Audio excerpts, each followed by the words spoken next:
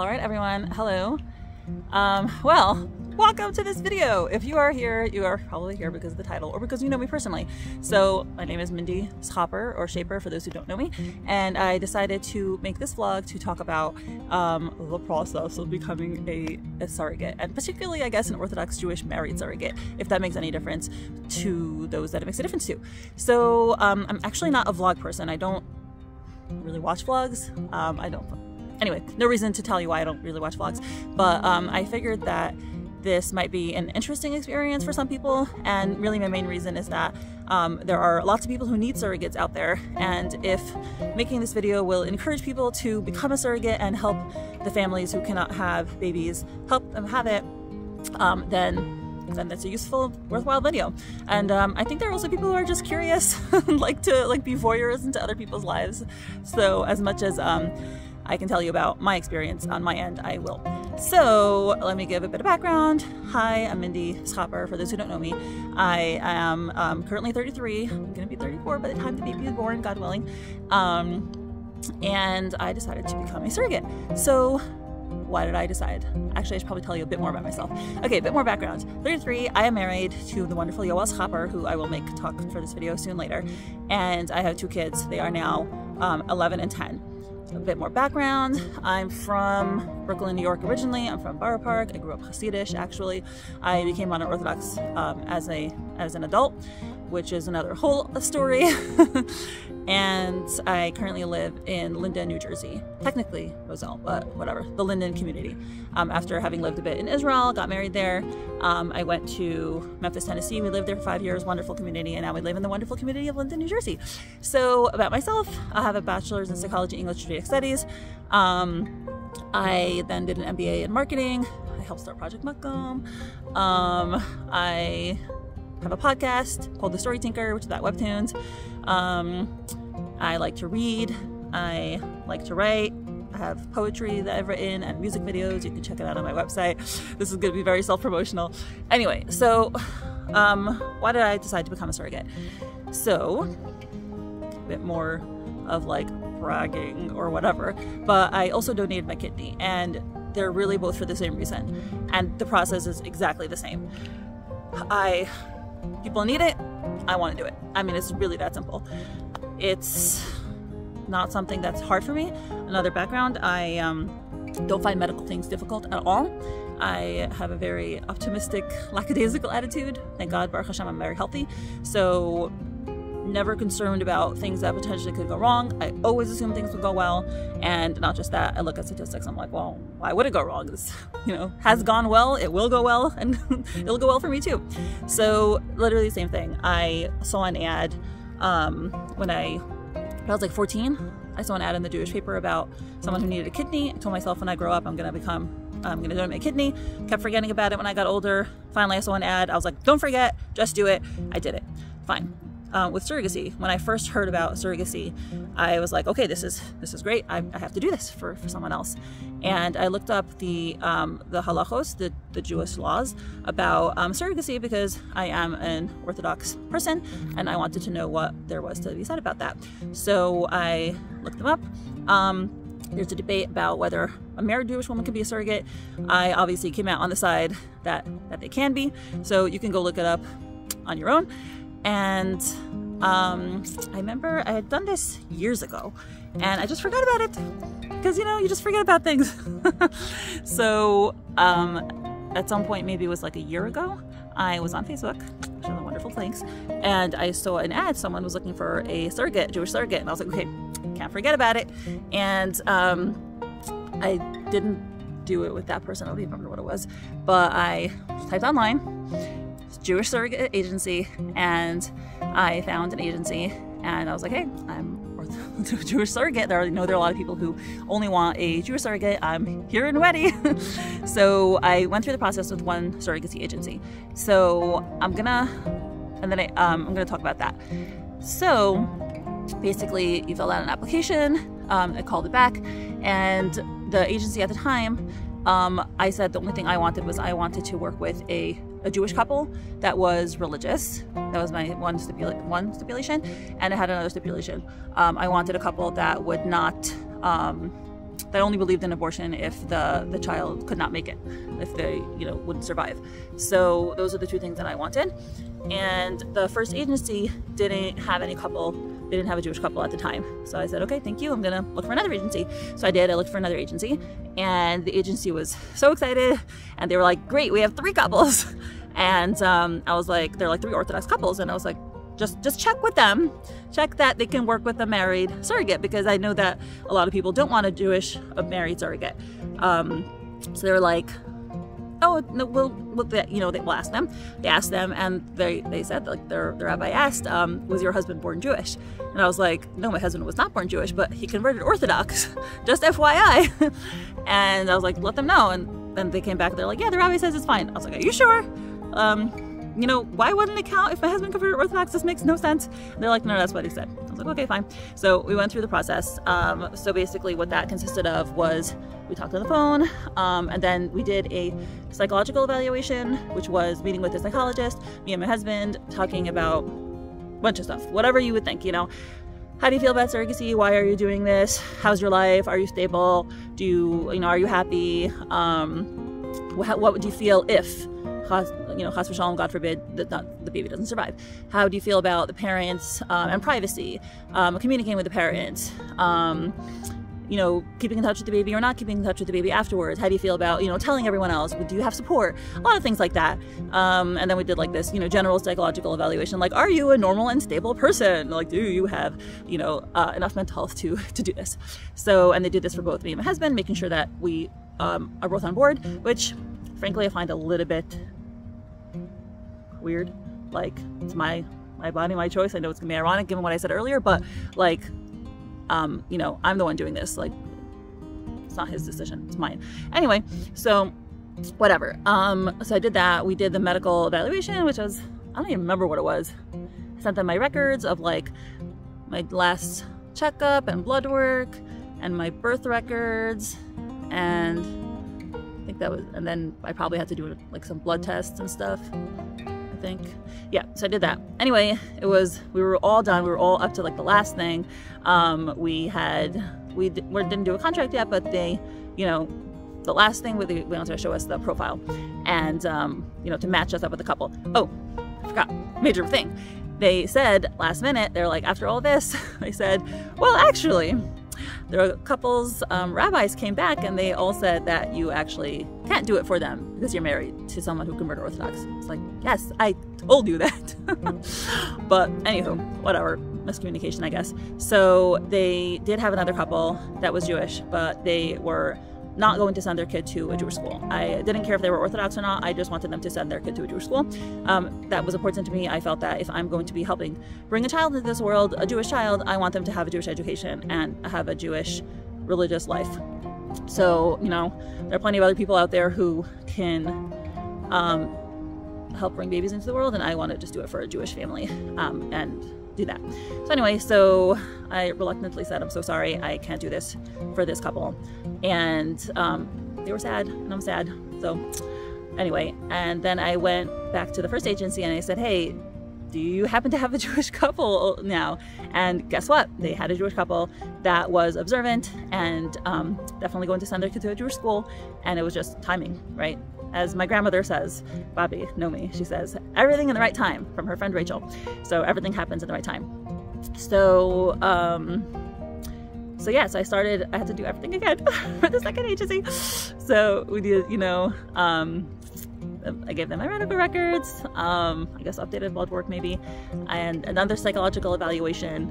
And um, we met the parents over Zoom, and that was nice. Um, I can't tell you about the parents, so obviously to preserve their privacy, but um, I'm very happy and I, I, I'm very happy. I'm happy that we could do this for them.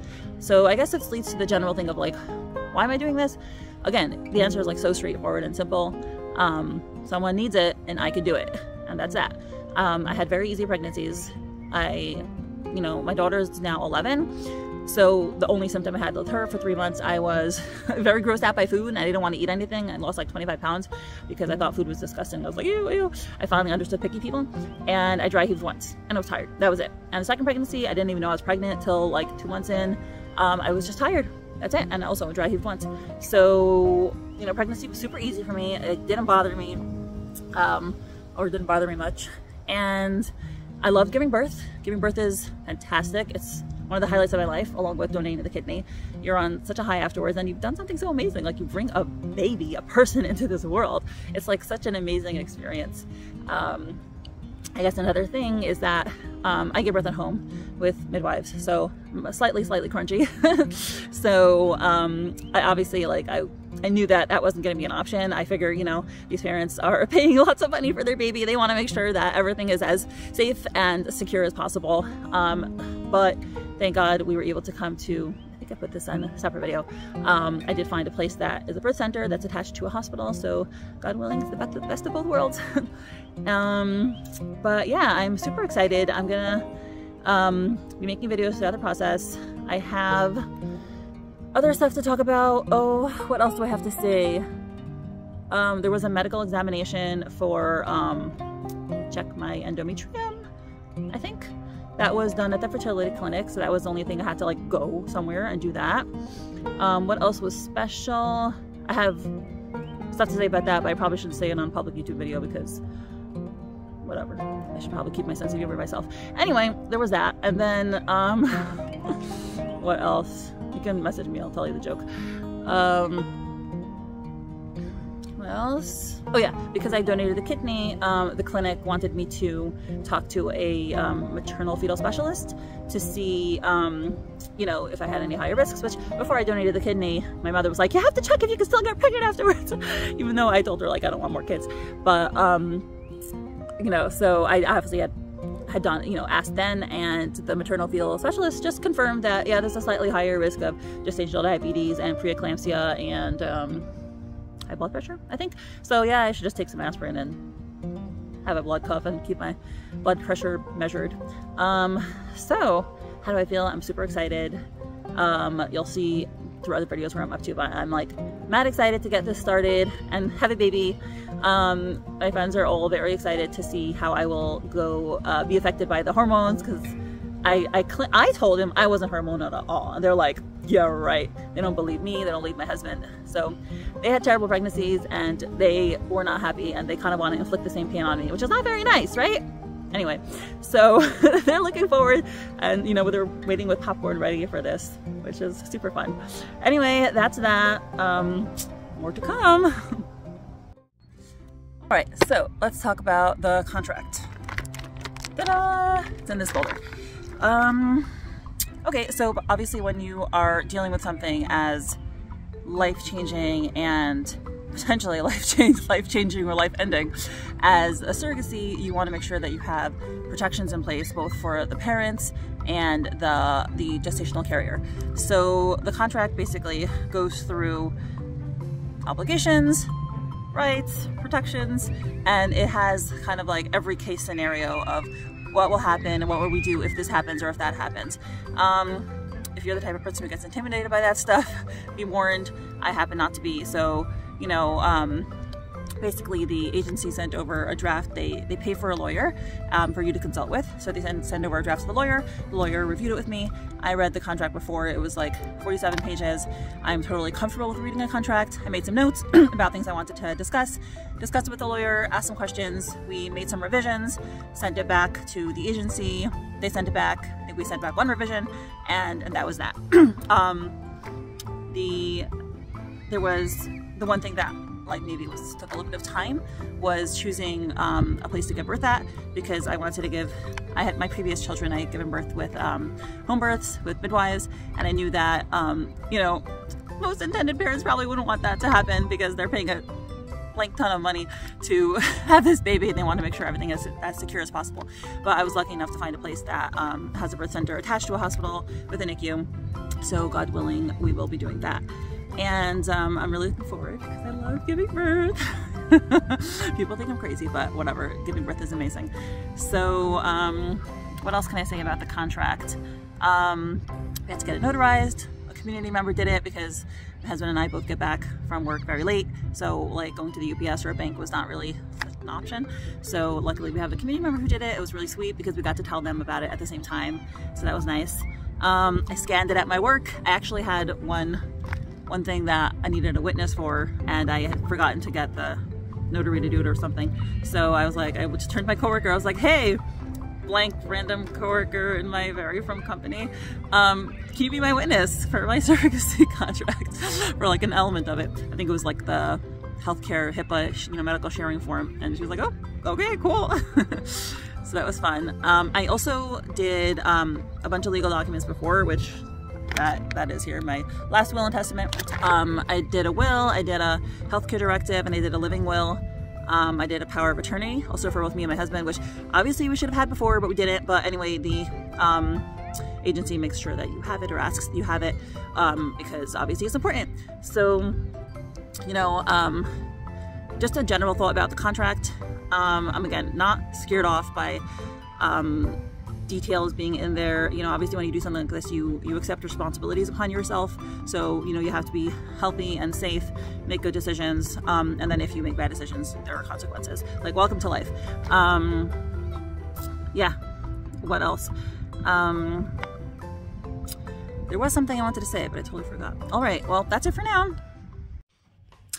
All right. So I just got off the phone with the fertility clinic um, because they just received the signed contract. Woohoo! So we can now go on to the next stage. Now, unfortunately, I was what they call in Yiddish an and I assumed without asking. So I knew that we would have to start the shots and at some point, right? And I assumed in my puny little brain that I should be off my birth control for that. So I just went off it recently because I figured it would start soon. So like, let me just get it out in advance. Now, apparently that was not the right move because if I had stayed on it, I could have just taken out the ring and then gotten my period and then started with the lining check, the something something and, and then the lining check. Sorry, she literally just told me now and I already forgot. So uh, now I just have to wait to my next period. So if this is TMI for you, maybe you shouldn't be watching this video, but but there's that. So I'm a little bit, it's a slightly annoying on a scale of 1 to 10, a 0.5 because I've just been waiting for this for a while and I feel like I wanted to get it done already. So now we just have to wait. So who's excited to wait for their period? Yay!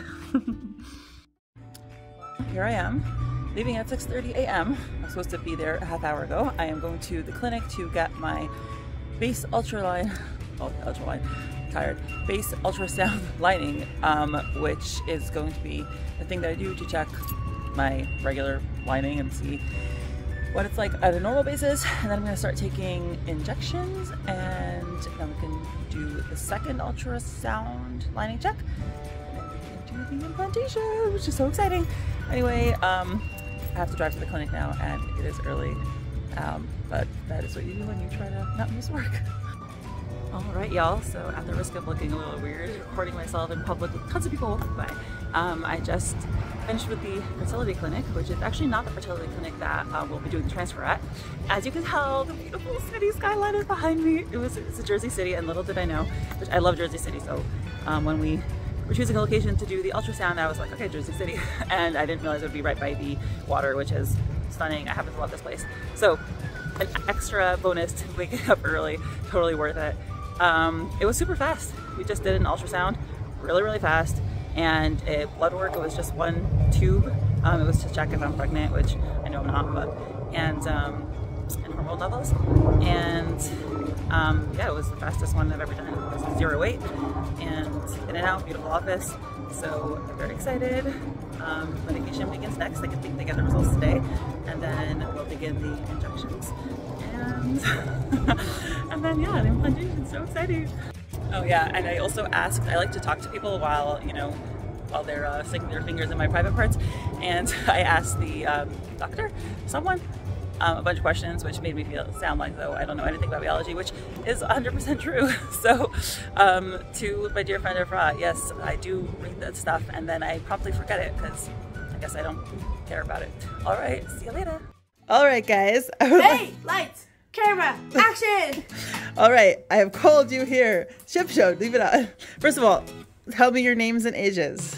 I'm Sophia, and I'm 22. okay, tell the truth. Okay, fine. I'm Emily and I'm Chavalea! Say what your real name is, or I'm gonna say it. I'm Chava and I'm 11. Okay, and you. I'm Jacob and I'm 32. okay, well, I'm Mindy and I'm 33. New, really. I'm Shimshon and I'm 10,000. Okay, you're 10. Great. Okay, I would like you to open that up, this here package, give it to me. and guess what it is. Wow, Chavalea, you know we have a pair of scissors. Scissors are bored. It says open from here. Oh, Wow, genius. wait, let me do this side. Oh, well, whatever.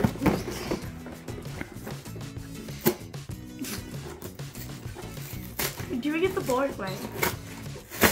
Let me show you how professional do it. The Chavalea, stop, it's so gross.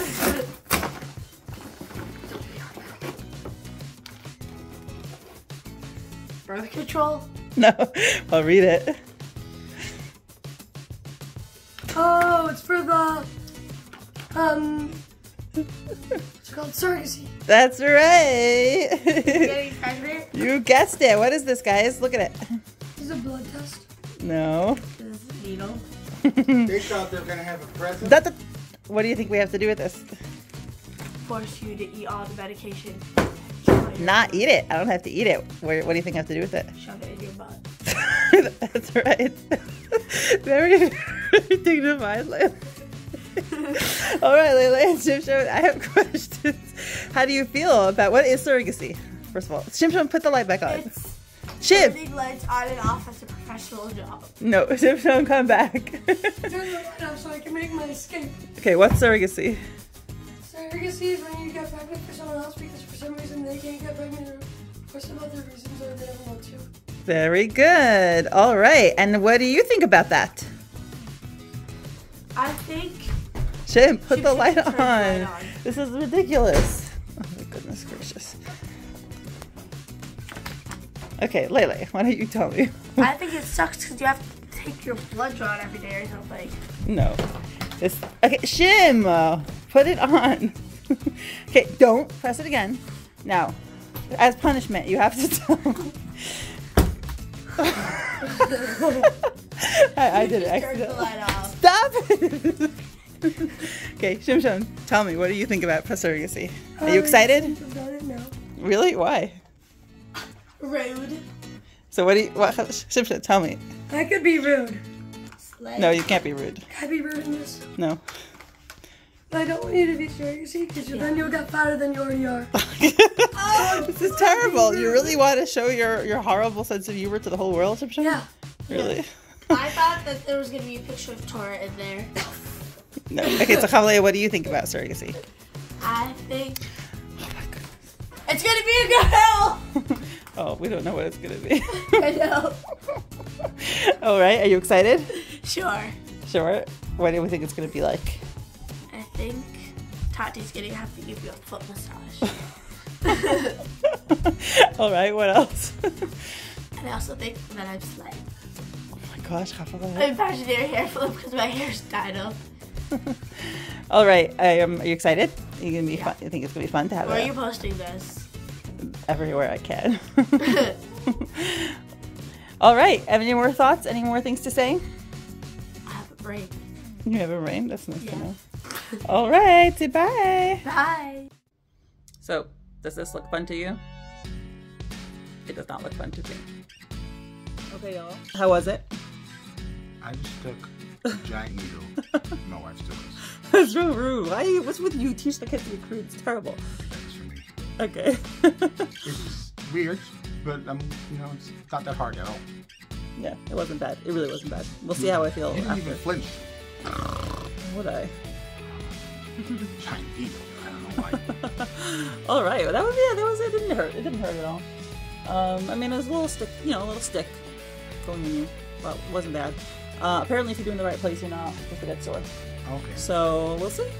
Do you hold That's it back making dumb jokes? Yeah, I know, I could tell. well, I finished the second monitoring um, to check again the um, uterus and blood work after I've been taking estrogen. So, all hopefully all is well, and hopefully, if things are good, the transfer will be in approximately two weeks. Yes. Well, it's middle of the night because that's how I roll.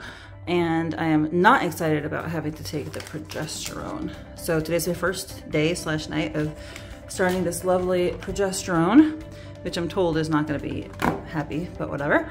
And look, now I have to take a whole milliliter and it's a much bigger needle. Well, previous needle was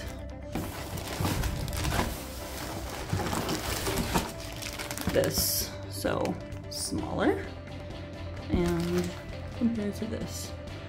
Whatever, I should stop being a big whiny baby and just do it. I'll let you know how it goes. If I can film myself doing this. Nope. Uh, open it up, put the needle in the thingamajibbadoodle, otherwise known as the bottle. Now I have to pull this down, which I am doing with my teeth. Okay, I just pulled it down and I have to let it fill up. Whatever, I can't really do this. Folks, well, I did it. This here little needle went right in me. Um, I will admit I was actually a little nervous. okay, I was, uh, you know, somewhat scared, which I usually am not. So, um, I, what's called, I looked up the video that the nurse from the fertility clinic had sent me about um, how to, like where to insert it. I was like, okay, if I'm gonna put this big needle in me, I wanna make sure I'm doing it in the right place.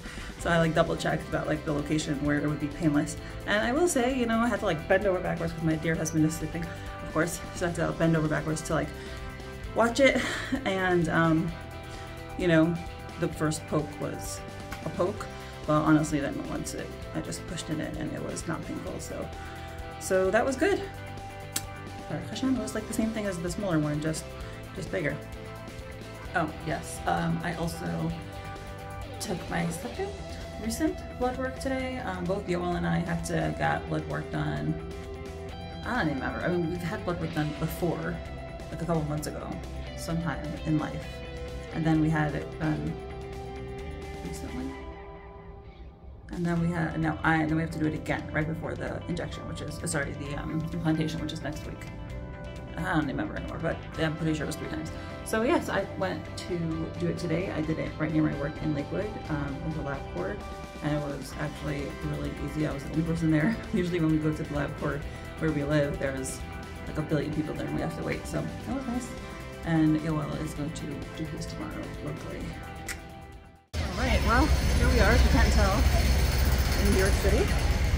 Just got off Penn Station, gonna walk to the clinic. Decided I need some exercise and walk an hour. Today is the day. It is transfer day. Very exciting. You probably can't hear me well, so I won't talk much about it, but yes.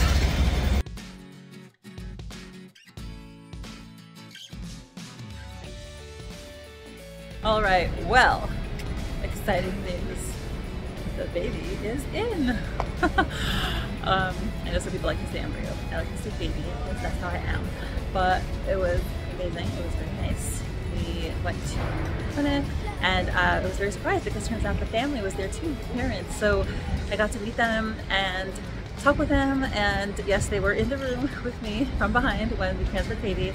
But basically just, you know, got into a robe. Um, they told me to come with a semi-full bladder and I apparently always think I have to go to the bathroom so I always think there's something in my bladder but there really wasn't. So I had to drink like eight bottles of water mini bottles of water so it was like four bottles of water and uh, wait for the water to go down into the bladder because apparently it makes it easier to uterine lining or something or other. As you see I'm not very good at the details but yeah I mean it's a really simple procedure. You just stick a scapula in and then you put a catheter in with a little teeny embryo. First they did a trial run just to put a catheter in. It's just a tiny, like a little stick of plastic. Don't even feel it. And then it just put the, the embryo was on a petri dish. They sucked the embryo out and you know put it in the catheter, is a little, little clear plastic tube. And then put the uh, catheter in me. And then whoop, put a little push bubble of air to push the, the embryo out. And that was that. And the baby has landed. And um, yeah, I sat there in the room for a couple minutes just to make sure the baby is comfortable, not to kick the baby out. And um, yeah, and then the parents and I went out for pizza. So, and we talked for like a good couple of hours. Um, beautiful New York ambiance. But anyway, um, I'm very, very happy. The parents are happy. It was so nice to talk to them and to get to know them and really, you know, just talked about, um, you know, the process, surrogacy, a bunch of stuff related to that, and also just stop chit chat. Um, but I'm very grateful, and I'm really davening, praying that this you know will be successful. It's 70% success rate in the first implantation, so I am really hoping that it just the baby takes. Next week we have a pregnancy test. Um, yeah, I mean, I just have to take it easy, which I'm like, yeah, I'll take it easy. I have no problem taking it easy. Um, so, yeah, it should just go well and be healthy and come with a beautiful, full-term, healthy baby for the parents to take home. So, I just want to share, Baruch Hashem, thank God, there was awesome news. I went and took some blood work this morning. Got the ambulance out there. And guess what? tested the pregnancy level, hormone levels, and Baruch Hashem, I am pregnant. The baby's stuck, so so relieved because there was a 70% chance that it would work, and there's always the 30%. Thank God, Baruch Hashem, it is sticking around. It should just be healthy and stay and have no problems till a healthy birth and healthy life, etc., etc., etc., all good things. So that's amazing news. And actually, it was also good news, which is not at all relevant, but um, was just something interesting was that last week when we I was at the clinic and I was talking about how the shots are getting a little painful. Um, I basically mentioned that like the bigger shots are more painful. And she's like, "What do you mean bigger need bigger shots?" And I said, "Yeah, you know the one with the, the big needle." And she was like, um, "You're supposed to be just withdrawing the oil with the needle, but then you switch to the smaller needle." I was like, "Oh." I'm pretty sure I did watch that in the video, but totally forgot about it. So I had been injecting myself with the larger needle for no reason at all. so it's it's better with a smaller needle. Still still painful, but better. Um, oh yeah, and I forgot. I kind of forgot that I have to do the injections through like 11 weeks of pregnancy, which I was like kind of expecting it to be through pregnancy. So I was like, whoops, it's gonna last a lot longer than I wanted, than I thought it would be. But once again, this is what happens when you forget what you read as soon as you read it. All right, so sorry for the bad sound quality. It's gonna be noisy, but um, I just left the clinic. We had our first ultrasound, I guess, um, once the embryo was implanted, and it was a bit of a scare because this tray started bleeding a little bit, um, just like some blood and two little clumps, and you know, I'm, both of us were much more nervous now than we, let's say, than when we were with our pregnancy, and I called parents right away in the clinic so I was gonna go in next week for the um, ultrasound, but they said come in tomorrow. So I am. I went in and thank God, Baruch Hashem, there was a heartbeat. Everything was developing fine. The sac and the embryo were just the right size. So everything's great. So I'm very relieved about that. So, whew. all right. So we just had the second ultrasound, and parents were there, which was very nice. It's always lovely to see them. Um, and the baby's seven weeks old now, so we got to see the very large head, the back, the butt, um, the leg, we got to see the placenta. Everything's growing nicely, everything's great. So, Baruch Hashem, we're happy, thank God. Let it just keep growing and be healthy. Um, I'm definitely starting to feel pregnant. I am very tired. So, uh, wake up with energy and then I'm like, oh, I got, gotta go back to sleep. so, uh, definitely like just randomly tired throughout the day. But Baruch Hashem, all for a good cause. I'm so happy the baby's growing and let it just keep, going. All right, so we just had our first um, visit with the midwives with the midwifery center and we first did the ultrasound. The parents were here as well, which was very nice. We did the ultrasound and I'm now at 11 weeks six days. So no, no, no, 10 weeks, 10 weeks, six days. Um, and the ultrasound came out very nice. The baby is bigger. We can see, you know, a nice head, belly, arms, legs. It looks very nice. Um, we got to hear the heart again. Heart is currently like mid-baby, which is interesting. It's a middle at this point. And um, then we had our first visit with the birthing center, um, which was very nice. We got a tour. We got to see the birthing rooms. I'm super excited. They're beautiful. They have a big bed. They have a big you know, jacuzzi where you can labor. They have a shower. Um, they look very, very nice. And I'm very excited that we can give birth in the birthing center, God willing. Um, and then we met with midwife, um, answered questions. You know, the parents had more questions because, you know, they've never had a baby before. So um, it's all new to them. So I do feel like because I had my kids before, I already am more familiar with what's going to happen and, you know, not particularly uh, not anxious, you know. But you know, there's some decisions they'll, they'll have to make about which test, if they want, you know, any invasive test or not. So um, it's up to them and it's their thing. So, uh, but yeah, I'm excited. It was nice. Um, it was very nice. We, the midwife is very lovely and people are lovely. Um, it looks great. And you know, it was interesting because they had to, this is the second time that they're having a surrogacy birth. So it was just, you know, some, a little bit more paperwork and make sure that they have the right insurance and the baby will be registered to the parents and, you know, make sure the birth certificate is filled out correctly. So just stuff like that. But, you know, low key bureaucracy, nothing major.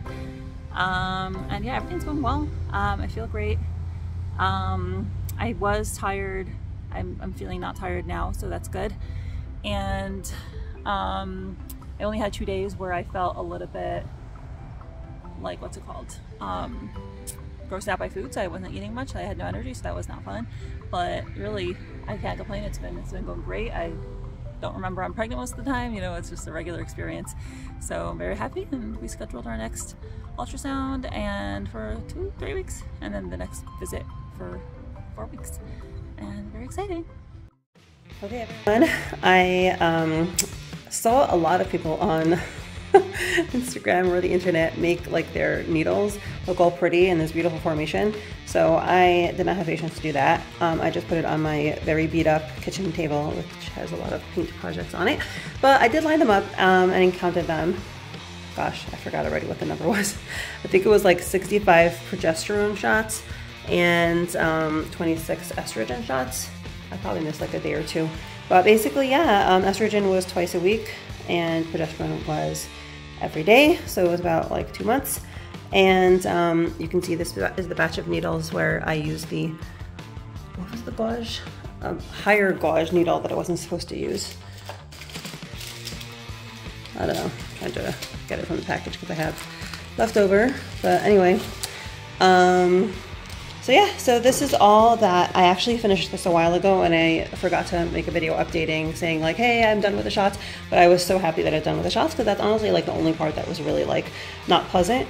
Um, so, and I also like took these needles around with me like whenever I went on a trip. So it was a little bit like I felt like a junkie and I was like, oh, don't look at my suitcase or my backpack because I don't take suitcases. Um, and then also, like, I just had them in the hallway in my house next to my bedroom. So if anyone came up, they're like, what the heck is going on? But whatever, too bad on them. okay, goodbye. I'm so excited to throw them all in the garbage.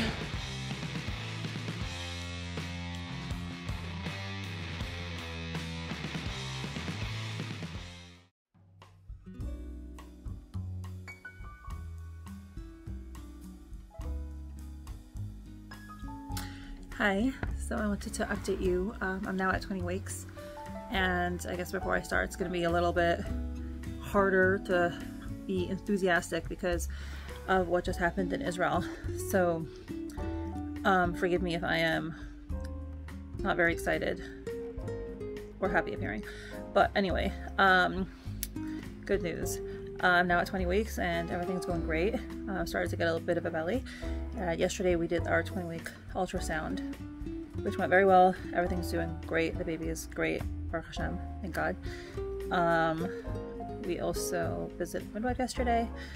Um, and then today I went to the maternal fetal specialist again, which was something I had done before um, because I donated the kidney. They just wanted to discuss with me um, more thoroughly, you know, various risk factors, which is, you know, a little bit of my family history, um, and then, you know, just general health stuff and the kidney. So nothing major, everything should be fine. It's just like precaution. Uh, make sure that they know me and um, that I'm in their system. So that's the update. Everything's good.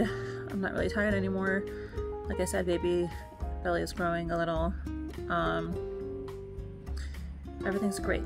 So um, let's hope for the best in Israel, but pregnancy is going well. So um, we just had our 25 week appointment.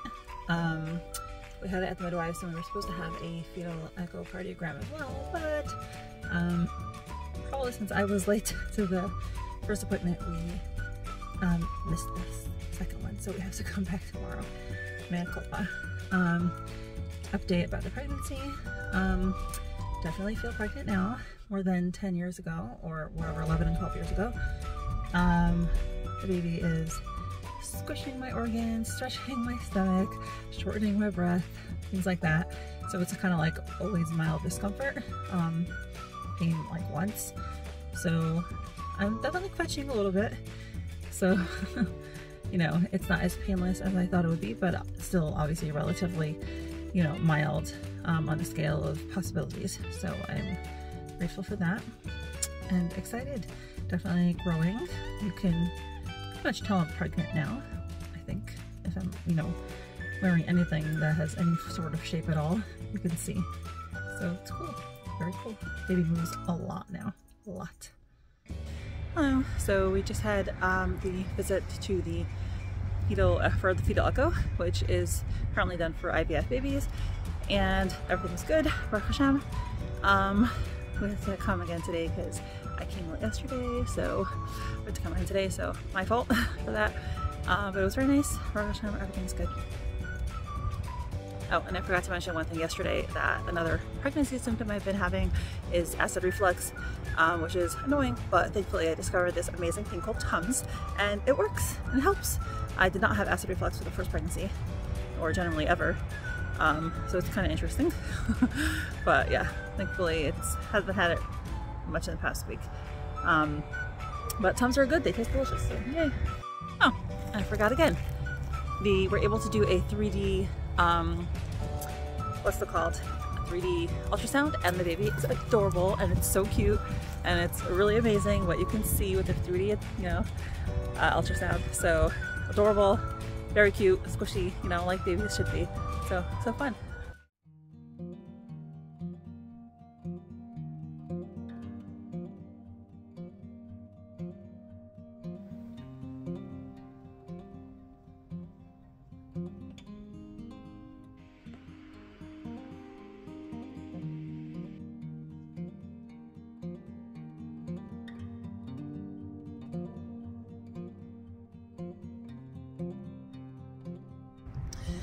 Hello, happy Hanukkah.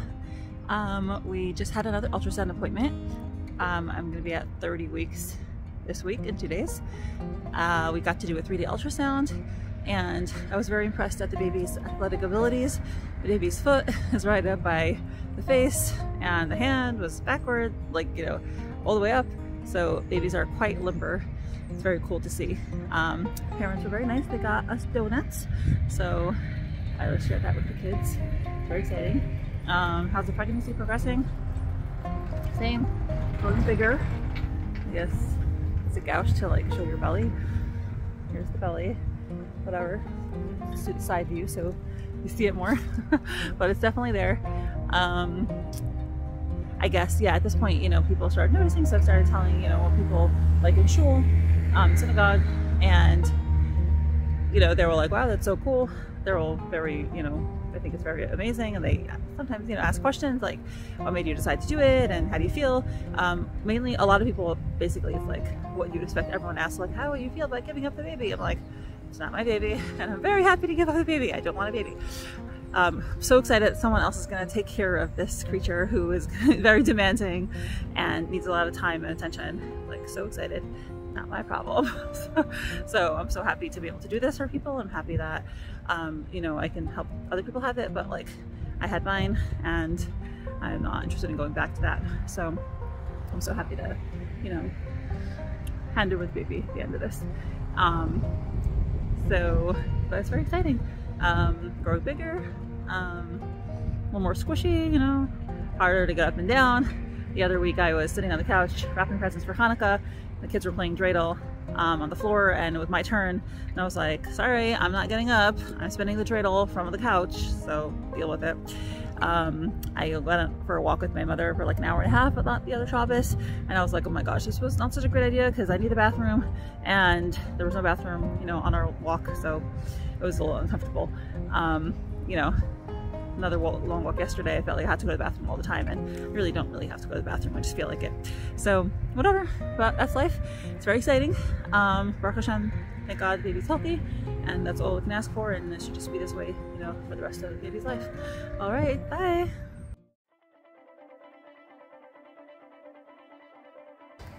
Hello. So, um, we just had our 36 week appointment, four weeks away. Very cool, very exciting that we got to this moment. Um, everything's going well. The usual, you know, baby moves. Um, I'm getting bigger, visibly pregnant, I guess. Told a couple more people at shul. They're like, oh, that's cool. But I, these days I can't remember if I told people or I didn't tell people. So I'm like, did I tell you? Did I tell you? Like what? Um, anyway, thinking of putting a little announcement on our shul WhatsApp, starting off with a joke. Okay, y'all, so y'all realize by now that I'm pregnant. Just wanted to let you know, baby's not Yoel's. You know, it's not mine either. So um, that's the old joke that he likes saying. So haven't done that yet. Maybe I should do it today. Um, appointment went well. We just did a non-stress test because it's an IVF baby. Um, Baruch Hashem, everything's great. And uh, actually, parents just gave me the cord blood, cord bank blood thing to collect, um, just in case like they don't make it, you know, with baby's born really fast or something and they can't make it to the hospital, um, the birth center on time. So I have it, um, and also a colostrum collector. I'm gonna try that out later. Try to collect some colostrum. Um, so that's pretty cool. Never did that before. Um, yeah, exciting. Excited. You know, um, I'm very grateful that we're here at this moment. I'm grateful that the baby's healthy. Um, you know, Hashem, just really grateful that I get to do this. All right, that's that. I guess something else I can show you is I already packed the hospital bag. Um, it is missing pads, but whatever, I'll put those later. But a towel just in case, sports bra, some hats, assuming it's winter, socks. I got um, a red dress to give birth in um, because, you know, red, duh. And then a blue dress to wear afterwards. And they're both like t-shirt dresses. They're very, um, and then there's like underwear or stuff in here. Um, and some toiletries like toilet, toothbrush, deodorant, stuff like that. Somewhere else there. Um, I'm bringing this envelope dress because, you know, I'll be giving birth with the parents in the room, Bezrat Hashem, and I want to stay modest, but, you know, have access. So it's a big t-shirt dress, and that should hopefully fulfill both requirements. All right. And then, yeah, I got to add some pads here.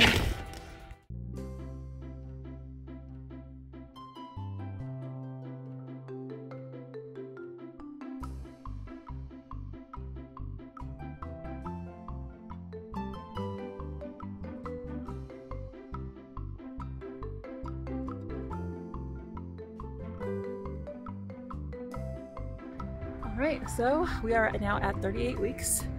Um, just finished another appointment. It's an unusually warm day for winter, but yeah, very exciting. Um, any updates? Baruch Hashem, thankfully things are, are well. We, um, the last month, right, so last two weeks, and then today and the next two weeks, we've been having weekly appointments, so that's fun. And at every appointment we do an ultrasound because it's an IVF baby and, you know, a regular midwife check. So that is nice, cute. Get to see the baby developing. We see the 3D images. Um, I did talk to the parents today about, you know, how kind of like with my, my kids, I basically like labored by myself. You know, I was doing, um, not for my first, but for my second, I did hypnobirthing. So I was really just walking around my house, you know, breathing and visualizing myself on this beautiful tropical island. I like didn't, wasn't really, you know, didn't want to socialize.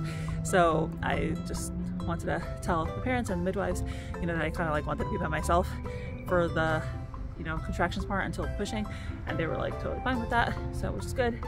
Um, definitely when I'm with people, I feel the need to socialize.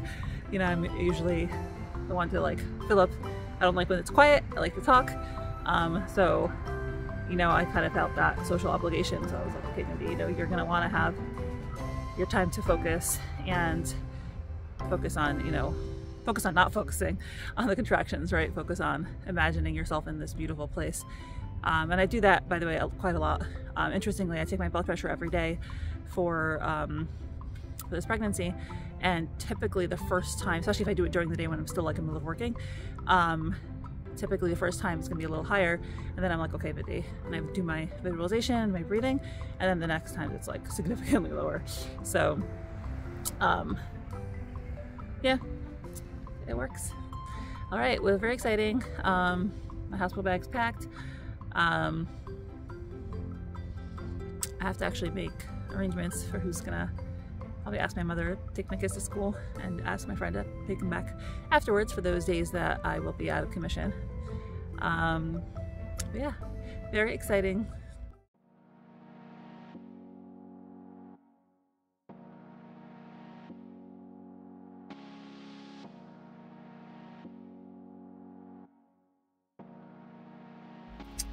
All right, hi. So sitting in the car, um, we just had our 40 week appointment.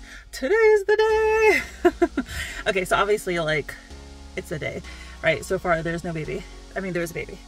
It's right here, but there the baby is staying inside. Um, yeah, um, very exciting. It's exciting. That's all. You know, excited to meet the baby. Excited to hand over the baby. Excited for parents. Um, what else? What else has been new? I started collecting colostrum. That has been a pain. I say pain in the neck. I was gonna make a joke about pain in the breast, but it's actually not painful. It's just annoying. So tiny, tiny, tiny amount. You know, come out and you have to like collect it and try it, not let it escape anywhere. I was using this like plastic thing, and then I used a syringe, and it's just tedious. Um, but as it has been described as liquid gold, so hopefully the liquid gold is useful for the baby. so it's in the freezer, the like two tiny drops that have been collected, and uh, we'll keep trying to collect more. Um, what else? Baby dropped. I definitely feel the baby drop, and the midwife felt the baby drop. Um, just feels lower. Uh, I had cramps for like a few minutes, twice. That's it. So that was it. Um, what else? The midwife that we just spoke to now was really reassuring and talked about, oh, don't worry, you know, everything in its due time, and you know, um, reassuring us that the baby will come when it's ready, and you know, about what our options were um, in case the baby does not come. You know, membrane sweep, um, either you know, at 41 weeks or 42 weeks, um, induction plan if the baby doesn't come by 42 weeks. Um, you know what you how you can start inducing labor down in the midwife department. If that doesn't work, you know obviously you can always go upstairs to labor and delivery and do pitocin, but um, they have a few different more natural options. Anyway, I don't think it's gonna get there. The baby will come. Come. It'll be great. Anyway, um, what else? Any other thoughts and feelings? I'm excited. yeah, that's it. All right, bye. Yeah, one other thing that's funny if you have a sense of humor. Um, so Yoel will be coming to the, the birth, God willing, hopefully if he, you know, makes it. But um, he's like, well, yeah, I only want to come because, you know, you might die. So like, you know, if you're, if you're dying, I'm gonna, I want to say goodbye. So yeah, that's kind of both of our thoughts because I don't feel like I need him around. I you know, um, he missed Shimshon's birth because I was like, oh, just go to work. It'll take a while. And it did not take that long. So he missed the birth by like five minutes because as soon as he got to work, I was like, oh, come back. um, and it was fine. I was totally fine. I'm very independent. I don't need, you know, people there. But like, yeah, I'm like, if in case something happens, you know, he should be there just in case. So, you know, as much as I'm an optimist and like, oh, everything's gonna be fine. Obviously, it'll most likely be 100% fine. But, you know, you always have to think about it just in case. So, hopefully, everything will be fine. Bye. Hello, y'all. Hello. So, how do you feel now that the due date has passed and was yesterday? Uh, I'm very stressed. Why are I you know that's stressed? not the right answer, maybe. I'm No, stressed, whatever. be honest. Giving birth is a big thing. I'm stressed for you. Well, I'm hypothetically also stressed for the baby, but, like, but I'm also stressed for you. Everything, everything goes well. Okay. Do you how, how do you think things will go well, or Uh, I think uh, statistically it will be fine. okay? Yeah. Awesome. Well, I have a, a funny question for you. Um, have you? How has this pregnancy been different than the pregnancies with our kids in the sense of you're really relating to the baby? Well, who's gonna see this video? Anyone, the world, whoever wants to. I'm I'm not uh, emotionally attached to the baby. Hmm. like it's more like uh, like I hope the baby's well. You know, like like like it's, uh, think of it as someone else's kid. Which it is. Yeah. And I'm, I'm even uncomfortable touching your belly yes, because I feel like it's intrusive. which is what I wanted to point out because I think it's hilarious. Anything else I could touch from you, but like your belly, I just don't. I feel it's intrusive. It's not my baby. Yes. So, so despite our, our, our usual cuddling, does not include the belly, which is Right, I think is hilarious. Yeah, right. I don't know. It's psychological. I don't know. It's not rational. I think it's very cute. You're a very Western man. You're respectful of, you know, people's autonomy, even if they're in the belly of another person, baby, right? and they're completely oblivious and would not notice. right. That's right. but I think that's very cute. Uh, all right, are you excited? What other thoughts do you have about I'm the birth? excited. I hope it. I hope it happens uh, not on Shabbos, but, uh, but yeah, I'm excited. I hope to be there. Cool. All right, any other thoughts? I don't have much thoughts about it. Like it was, uh, it was pretty, it was pretty mundane. The whole thing. Yeah, it's now nine months of mundane. You just all that happened was you grew a little bigger and you had to go to doctors, but yeah, it wasn't like it was not on my side. It was not intrusive at all. It was just- Well, and you got nine months of, you know, Yeah, no okay. interruptions. That's right. That's right. That's right. All right. Okay, bye. All right,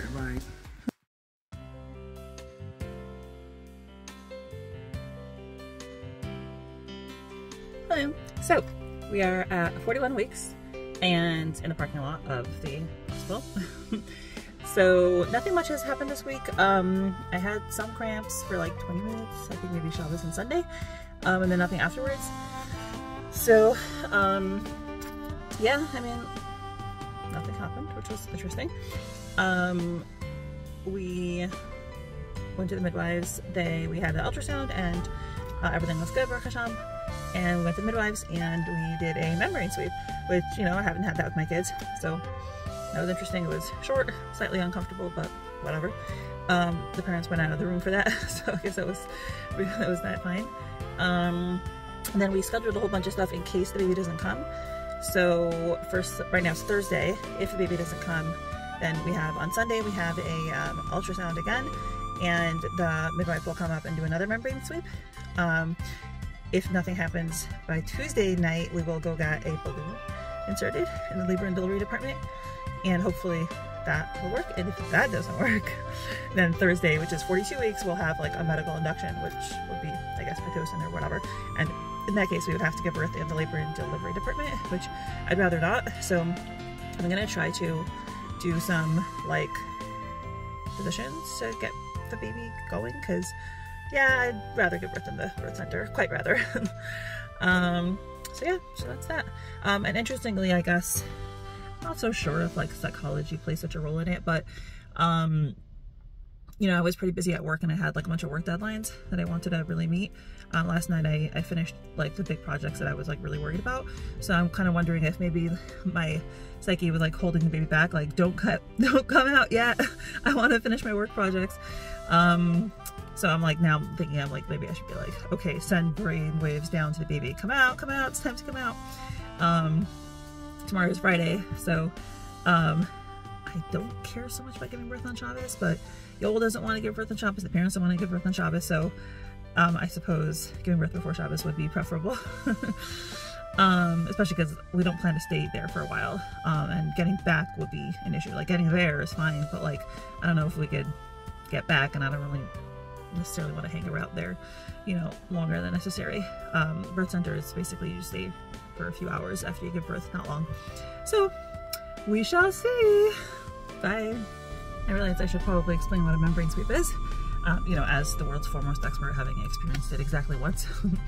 Um, so basically, it's the midwife inserting her fingers into the cervix and like um, kind of separating the sac. I'm very, by the way, I'm terrible at biology. I have like zero interest in it. It's amazingly pathetic. I promise that my lack of knowledge in biology does not reflect my knowledge in other areas of life. But yeah, like inserting her fingers between the sac and the uterine wall uterine sac and uterine wall. that feels like it's a repetition. But anyway, I like separating it. So like encouraging baby to come out. Okay, all right, well that was, you can also Google it, probably better than me.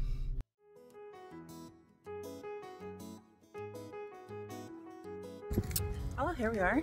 Uh, it is Sunday, so we are at 41 weeks and a couple of days.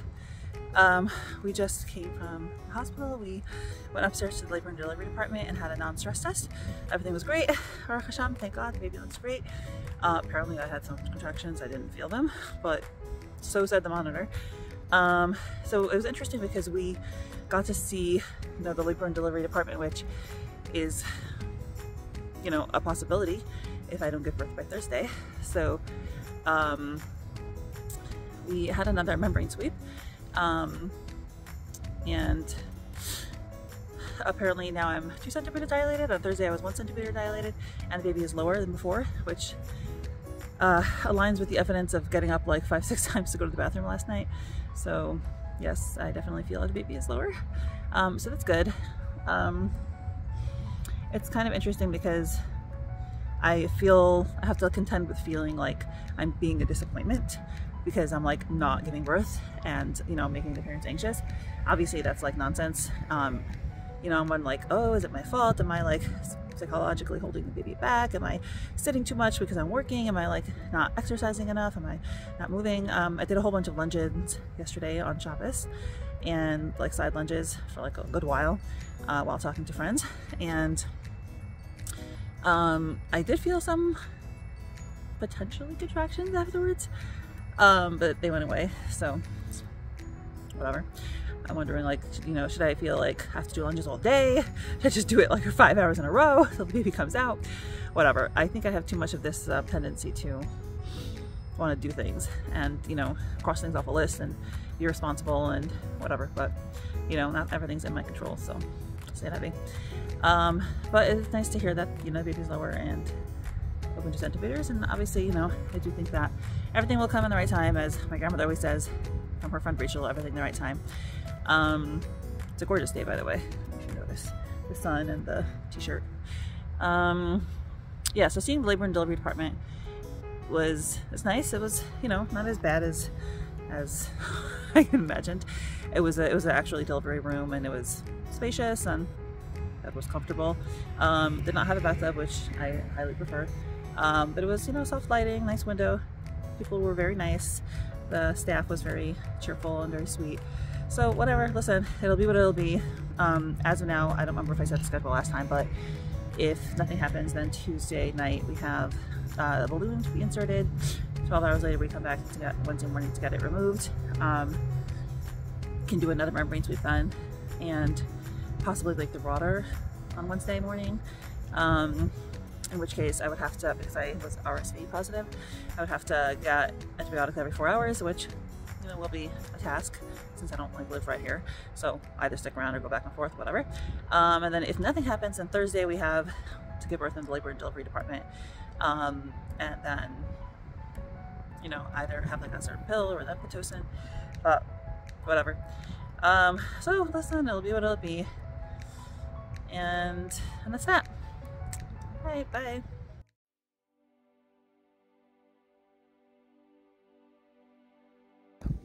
It's kind of cool. You know, you write when a contraction starts and stops and how intense it is. Not 100% accurate. Like, towards the end when I got up, I didn't really keep track of it anymore. And then I went into the car and I got, kept track of it again. Like, this 19 minutes is when I called the Uber, I guess. Yeah, it's coming every few minutes here. um, obviously, this is now. Everyone. Hello. I'm alive. Yay! I didn't die. so, Baruch Hashem. Um, listen, things happen, right? Apparently I lost a lot of blood. So, um, yeah, a lot of blood came out. I passed out while I was sitting in the bathtub. I apparently was eating a date bar and I passed out and it fell in the water. I didn't even realize. And then they called a bunch of people in and we all panicked. And then I got shots to make my blood coagulate and um, know, stuff. Got moved to a stretcher, went to the OR, where they, um, I don't know, tried to give me anesthesia, but I threw up all the Gatorade that I had drank. And then what else happened in the OR? I think they scraped out anything that was left of the placenta and checked to see if I was bleeding anywhere internally. Um, they sewed up like a, I had a little stitch, one one tear of my perineum or whatever, labia and something, whatever. So they sewed that up. Um, put in a catheter, swapped out the catheter now, um, and then stuck, stuck needles more to test the blood, my blood type, even though I know my blood type and they took blood before. Um, but because they're going to get me blood because I lost blood, so I'm going to get some someone else's blood. Yay! Yay, blood. Okay. That's that. That's so thank y'all. Bye. All right, everyone. Good morning. it feels so like ludicrously self-centered to like make these vlogs, but anyway, um, here I am at the hospital. Um, this is gave birth yesterday. Figured could hear a brief recap of the birth. Um, I know women always love to talk about their birth stories because birth is amazing and it's one of the most um, fundamental experiences that a woman can go through. So this is not any different than any other birth story really. Um, but anyway, birth story. So we, um, I was actually shopping at, for Shalach Manos and I felt the first proper contraction that actually felt like a stomach contraction because I'd had cramps like in the week and a half before. Um, oh, let me preface this by saying that Monday, which was the day before I gave birth, I actually had a super down day. Um, and I think it was like hormones, um, where I felt like just completely, oh, hold on. Sorry, there was a nurse coming, a tech coming to take my vitals. Um, and as you see, I found my earrings. I finally got my jewelry back on. Um, I had wanted to actually give birth with jewelry because I'm like, oh, wouldn't it be cool to give birth in jewelry? But then as I was actually laboring, I was like, you know, I feel more comfortable being like natural without it. Anyway, so yeah, Monday before, today's Wednesday, I gave birth Tuesday. Monday before the delivery, I um, was feeling really not good. And I know emotionally I've been, you know, I mentioned this before, feeling like, oh, it's my fault that the baby's not born yet. Um, and I feel so guilty. I feel like I'm making people anxious, which was absolutely irrational. And Monday, like, it just it really was emotionally down and just depressed for I really, I could tell, I knew it was no reason. My friends were like, okay, it's probably pre-birth hormones, which makes sense because at this point in my, you know, adult life, I'm mature enough to recognize that sometimes you just wake up and you just feel bad and there's literally no reason. Like, I mean, there must be like, like a biochemical reason, but there's no rational reason and there's nothing like, it's not like you have to actually make any changes in your life. It's not like usually when you feel bad, you're like, okay, what can I do to fix it? Like what is wrong with my life that I need to address? But um, sometimes it's just biochemical and again I'm the last person to talk about these things but um you know sometimes you just know it's just a mood and you wake up and there's nothing you can do about it and you just have to like go through it so you know one day I was like I actually took the day off of work which is extremely rare for me to take off for like feeling bad um I normally don't do that at all but um I did and I just stayed in bed and basically read a book all day um and anyway and then um but I knew it was like no, no reason. Wait a second. It was Monday? Yeah, it was Monday, so I gave birth that's at the start of that night. Okay, yeah, that makes sense. So Tuesday morning the baby was born. Right, okay, so anyway, Monday after I picked the kids up from school, I went um, to uh, go shop when I was shopping and as I was in the grocery, I uh, felt my first like legit like contraction that felt like in the uterus area rather than the, the pelvic area, which is like cramps. Um, and I was like, okay, great, promising. Um, then I guess it developed very slowly over the next couple hours, maybe like first like 20, 20 minutes, maybe 30 minutes, kind of like, you know, whatever, um, something like that. Um, went back home and, you know, just unpacked and did, you know, regular random things. Um, and then I think by that point already, like, I felt like it hadn't gone away, so I knew it was like there to stay. And, um, Sorry, I'm taking so long. My brain may not be fully there. Um, then by let's say I think 11:30ish, I was in bed. I was I collected the colostrum for the last time, and it definitely flowed a lot easier. Like there was a lot more of it. Um, so that was also like very clearly, I guess, a sign of labor. Um, and I was like, okay, let me go to sleep because with Shimshon, uh, my son, I had started laboring also around eight, like same time. Um, and then I just like slept through the contractions, kind of woke up for the contractions, and then 6 o'clock in the morning I got up and 8.30 he was born. So I was like, well, maybe I'll follow a similar trajectory, so let me just go to sleep. Um, I went to sleep, but at that point, I tried to sleep. I, I, I, my friends were like, one of my friends especially was like, go to the hospital now.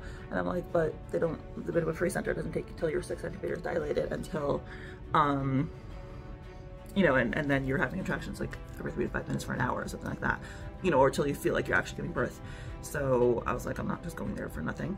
Um, so, but I did download a contractions app to help me, you know, time the contractions better so I don't just rely on my memory, um, which I know is susceptible to um, wishful thinking. Um, and I know myself, I do know that I'm more likely to be like, oh, it's fine, it'll be later, it'll be later. I'm like classic procrastinator and I also don't, I, I don't want to like, I don't know, a minimizer when it comes to these kinds of things, like physical things.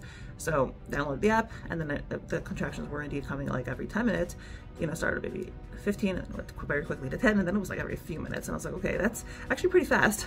so I told the parents when it was, um, I told the parents when I first experienced it, and then when I when I saw that it hadn't gone away, um, didn't want to give them like false hope. But when I saw it had gone away, I contacted them, and then when I was every 10 minutes, I contacted them, and then when I realized it was coming every few minutes, um, I first called the hospital and told them that the birth center and told them that I I want to come in because it's progressed pretty rapidly. Like from two in two hours, it went from every like you know 12 minutes to 10 minutes to like five three minutes you know so i was like okay this is you know coming really fast and i i want to come in so um, then i called the parents that i'm coming in and um, called an uber packed up woke up yoel packed up um, and you know like 20 minutes later we were in the car um yoel laughed because i wanted him to bring bagels and i was like oh can you put cream cheese or whatever in the bagels? And he's like too stressed out of course. So I was like I'll do it. So I'm like putting in bagels while experiencing a contraction of course and bragging about it. Sorry y'all. Um, anyway we head to the um, birth center in an Uber you know have some contractions there. You know contractions they are what they are. Um, I read a I decided to read webtoons to distract myself while I was there you know in the in the car which glad I didn't get nauseous usually I do anyway, we got there. Um, the midwives checked me. The parents had already been there because they um, are smarter than me. And when I told them that the contractions are 10 minutes apart, they came already. They, left. So um, I think that was very smart of them because, you know, they're probably better at timing than me. I would probably miss, you know, I definitely uh, had to be late for everything. Um, the midwives checked me and I am six centimeters dilated, which is very nice. Um, they my blood pressure was kind of high, but like I was experiencing contractions all the time, like every few minutes, and like even if um the contractions kind of never like really went fully went away, so like yeah, of course, um, baby's heart rate was fine, and um, then we go to the you know the birth room um, midwives very much are really respectful of how you want to conduct your labor. Um, I like to be alone, so I was like, I'll call you when I need you. you know, what's that song? I'll call you when I need you. Something. Da -da -da anyway, um, so so yeah, so I I knew in advance. This is this is you know kind of the interesting thing about like surrogacy, I guess. Um, you know, you you are sharing a very private, intimate experience with other people, right? For whom this is also their very private, intimate experience. Um, and it happens to be I like like to be alone during delivery, and um, I knew this would be something that would be that I would have to process, like work through or accept or process, or you know, that would be um, somewhat awkward. So I talked to you know the parents in advance, and I, I you know the midwives, and I said I like to be alone when I labor, and I also know that when I'm around other people, I have this desire to like socialize and I feel like the need to talk. Um, and the parents were obviously like, you don't have to entertain us, like, just do your thing. And the midwives were like, yes, you know, you can, we're not gonna bother you unless you wanna be bothered. Um, and one of the midwives was like, she also said she likes to labor alone. She's like, you can go to the bathroom, you know, and just be by yourself. Um, and my husband, of course, also knows that I like to be left alone because he's lived with me for a long time. Um, anyway, so we get to the room and first, you know, we do socialize a little bit. Um, and, but then I was like, okay, I'm going to read a book, you know? So I'm, you know, kind of happy for my, proud of myself that I was able to do what I needed to do, you know, and again, I'm 34, like I should be able to do it at this point, but I am, I do think it was an achievement to not be like, feel the need to just socialize. And I'm sure, honestly, I'm sure the parents didn't want to socialize either. Um, they're probably, you know, anxious. Um, I might sometimes have that inability to recognize when people don't want to talk, possibly. So um, anyway, Yoel was reading on his tablet, parents were on their phones. Um, the dad put himself behind the screen, like in his own chair. Um, so that was very nice of him because, you know, it's just more privacy. Um, and I sat on the bed, like kind of lay down on the bed reading. Um, and when I had a contraction, I would get up and walk around because breathe through it. That's definitely more comfortable. Um, I finished the book I was reading. It was Emily Clark no, what was his name? Paul, Heather Fawcett's uh, Emily's Encyclopedia of Fairies. Anyway, I finished that book and um, um, started another one. Uh, Jade Dragon by Naomi Novik. Um, and then I was like, I realized that lying on the bed was not exactly conducive to um, labor progressing because like I was having fewer contractions. So I got up and started walking around.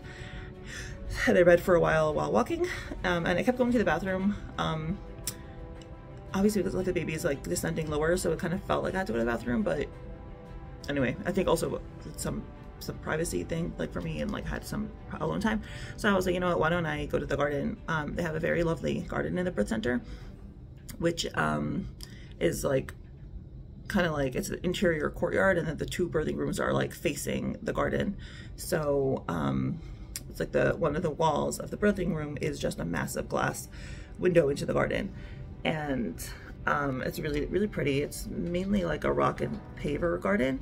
Um, it has some bushes and it's just really nice. Um, so I went outside there and was left alone. It was great.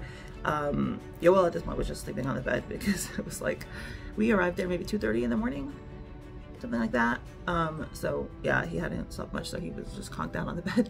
Um, and the parents were both on their phones or I think the dad maybe was sleeping in the chair. I don't know.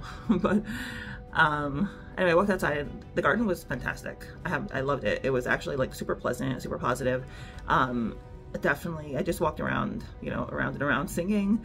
Um, I love singing, um, and it was it definitely the pain of the contractions was like really very manageable when I was walking outside singing. Like it was not. It, was much much. It was it was painful, but not like it was really fine.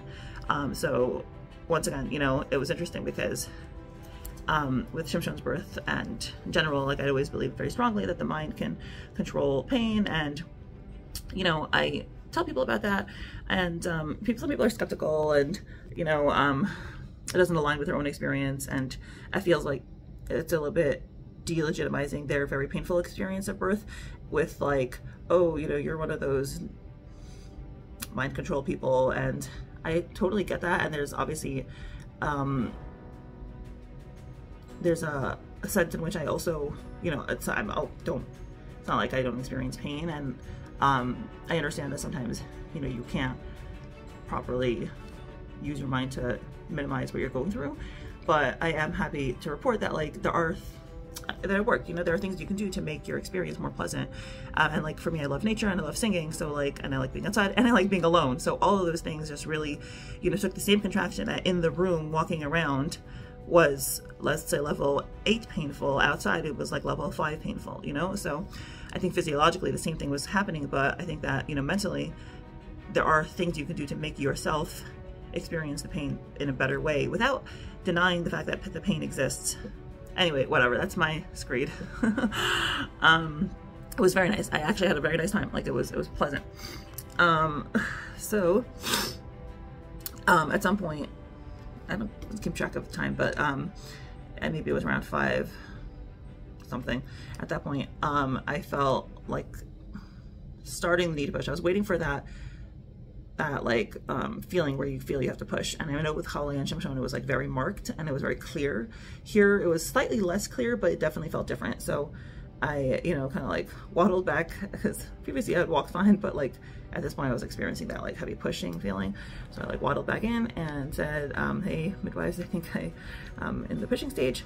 Um, they had checked a couple times on baby's heartbeat, by the way, in between.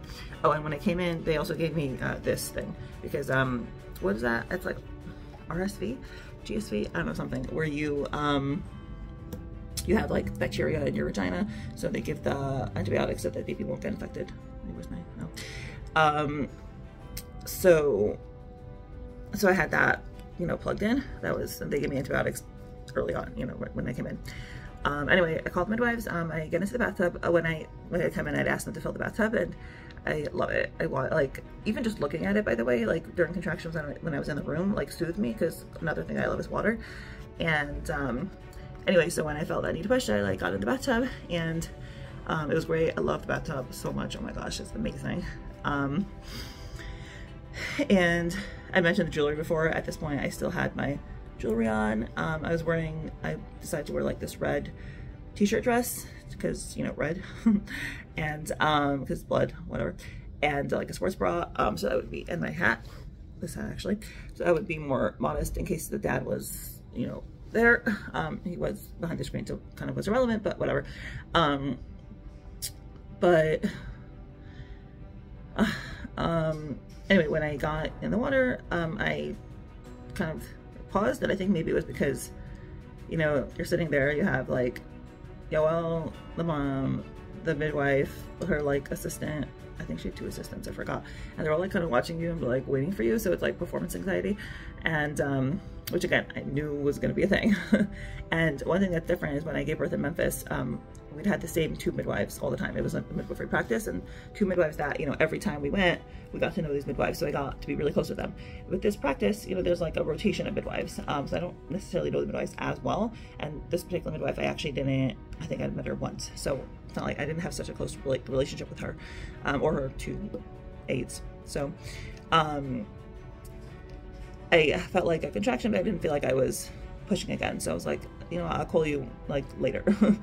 so um, the midwives left, and then I just um, sat and I, again, once again, I'm like proud of doing things that I needed. Um, I plugged my ear, which is my one hearing ear, which means like I have quiet, and I just like sat there and I closed my eyes and I was just in the zone by myself. I was like, I'm gonna ignore everybody because I'm the one giving birth, and if I want this baby to come out, you know, um, I have to do what I need to do to help the baby come out, and not be focused on other people and like their attention on me and like feel the need to please them or talk to them or you know I'm like this is just I have to just do what I need to do to help the baby get out um so I did that for a bit I don't know, 10 minutes or something and just breathing through the contractions.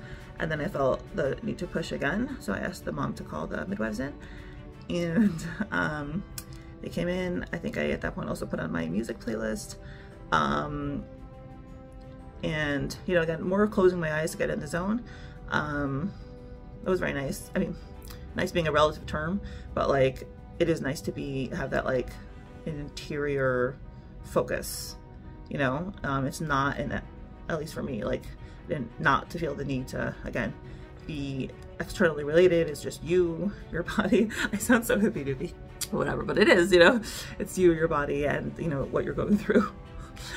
Um anyway so I, I not sort of asked many times but i think i said at that point when when you know i called the midwives back in um i felt felt like it was pushing. And again, it was not as clear cut as with Chavalea and Shimshon, but um, I started to push and felt like the I was going nowhere.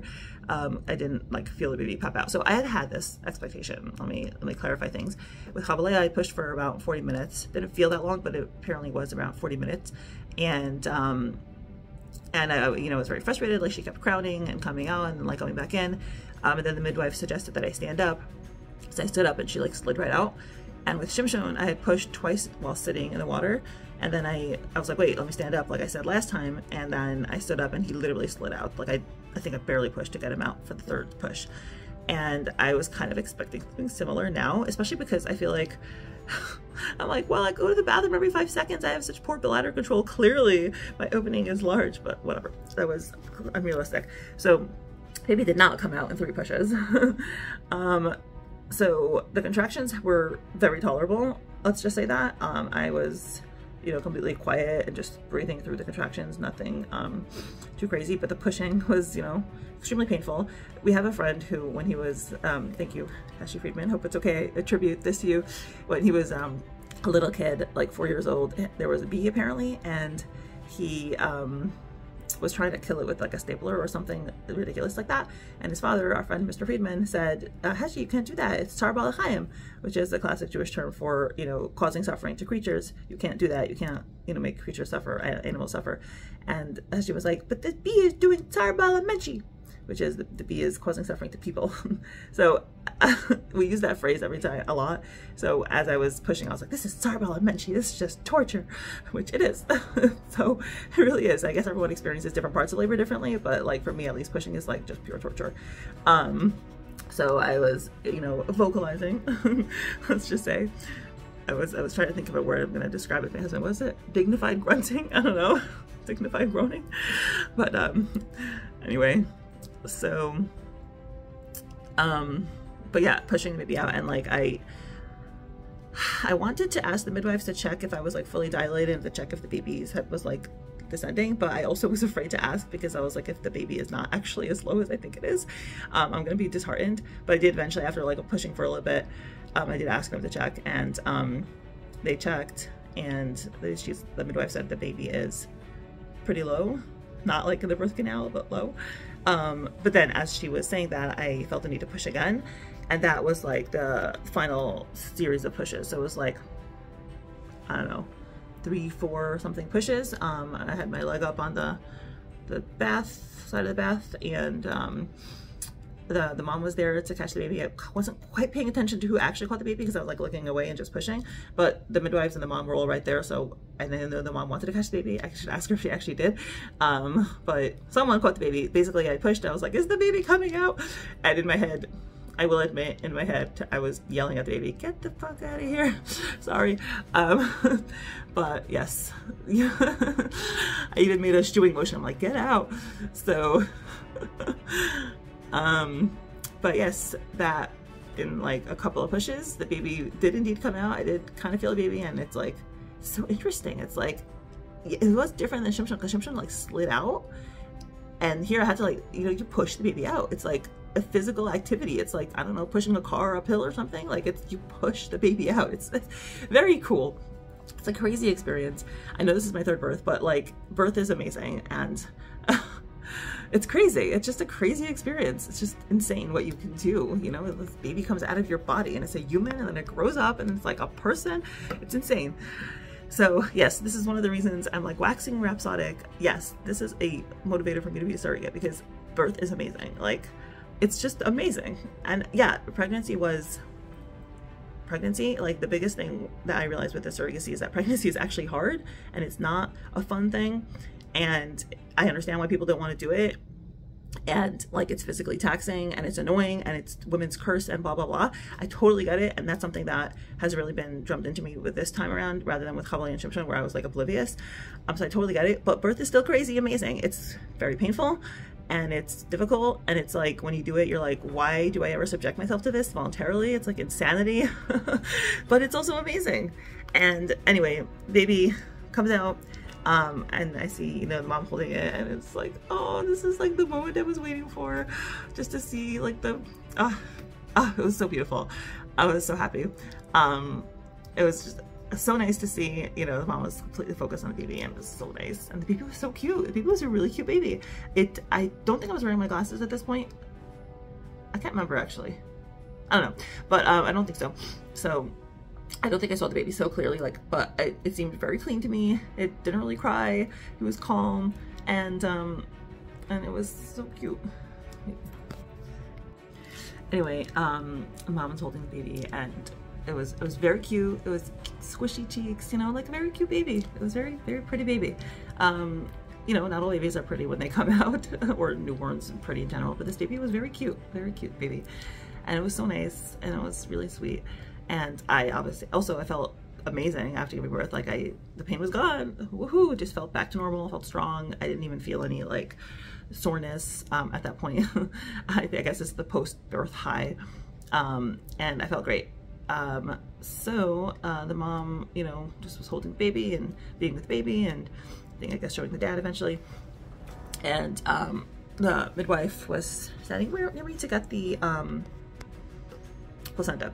So they also, the parents were collecting like the cord blood. So I think she wanted to catch the, the placenta and the cord. I think she withdrew. She got some, extracted some cord blood from the cord. It's very interesting. It's like a telephone wire. It's like, very cool. Um, anyway, so I'm standing there waiting. She asked me if I wanted to go to the bed to, uh, you know, deliver the placenta. And I said I'd rather stay in the bathtub because I love the bathtub. And um, actually, it was anyway a little bit later. But anyway, um, so uh, it took about 20 minutes for the placenta to come out. Um, she caught it. I have a picture of it. I'm sure no one wants to see it, but whatever. I do have a picture of a nice bloody placenta. um, anyway, and then at that point, I was starting to, this was like 20 minutes later, so I started to feel kind of like weak. Um, and so I like sat down on the sides of the bathtub. Um, I, wanted to shower, you know, get dressed, and I was like, well, I kind of think at this point I need someone to help me shower. Um, but I sat down and I, um, they gave me some Gatorade, and then I asked Yoel for um, the date bars that I had brought along, um, just because I felt I needed more energy. Not that I was like, I didn't, wasn't actually hungry, and like I ate it, and I was like, well, like, I don't really want to eat this. But um, apparently, um, the next thing I know, I um, wake up and like the midwife is like talking to me and trying to get me to talk to her. She's like, Mindy, Mindy, and she's saying something. It's kind of like in the middle of talking. And um, and she's like holding me by my like around her arms are around me, she's holding me my chest, and I was like, huh. Um, so apparently I fainted and like started, and then the, the date bar is no longer in my hand. so I'm like, oh, apparently I fainted and dropped the bar, and Yoel said I started sliding into the bathtub. um, so I thought I only fainted once. Yoel said I fainted twice and I was going in and out. So I'm assuming I just don't remember the first time. I don't know. Um, but anyway, so she, I guess I, you know, had lost more blood than anticipated. Um, so she was like, okay, let's get you to the bed. Um, and then I like put my, you know, legs around the bed and more blood came out, just like boom on the floor. And, um, the midwife was like, oh, do you need help walking to the bed? Anyway, she got really concerned that I had fainted. Um, and so she called a code blue, which is uh, like really when a patient is dying of cardiac arrest, I think. So, and then tons of people came in. It was very dramatic. Um, and then I heard it's like, not, it's not actually a code blue, but I needed to get y'all in here. Um, so she was like, oh, you know, do you need, let's help you get to the bed. I was like, in my head, I was like, I can walk, I can walk. I don't know if I actually could have walked, but whatever. I did walk with help. So it was like two steps away from the bathtub, you know. Um, anyway, so she got me to lie down on the bed and um, basically started massaging my uterus to get it to harden. Um, and while I was on the bed, more blood came out. And anyway, she was very concerned about the amount of blood that was coming out of me and the fact that I fainted. Um, so there was like tons of people around there. They put another, they gave me these um, three shots, injections of I should really remember what they're called, but like um, things that help your blood coagulate, I think, if I recall correctly. And um, yeah, it was it was interesting because it's like very, you know, uh, not that I watch Grey's Anatomy, but it's what I am, you know, imagine in clips of Grey's Anatomy, where it's like tons of people in the room, it's like medical emergency, and everyone's like panicked. I mean, anyway, and then, but I have this thing where I get like the opposite reaction to medical stuff. I get super calm and I do not get emotional at all. Um, it, anyway, so, um, so yeah, there's, you know, a lot of people around and they're all like nervous. Um, and then one of them puts another IV in the arm, the other side, which thankfully is out by now. Um, and the midwife is talking to me. She's like, oh, you know, she's like, first of all, okay, I like I appreciate when people do this, but I don't appreciate people do this to me because it makes me feel like a dummy. They're like, oh, you did great. You did amazing. And now we're going to do this and now we're going to do that. And I'm like, don't patronize me. Like, I'm an adult. Um, like, I'm not a baby. I'm, you know, I don't, it's okay. Like, I'm not feeling emotionally overwhelmed. Like, you could tell me what's going, you know, what's going on in a rational manner. I don't need emotional hand holding. Anyway, whatever. It's fine. Um, it's my particular reaction um, to uh, being treated like a child.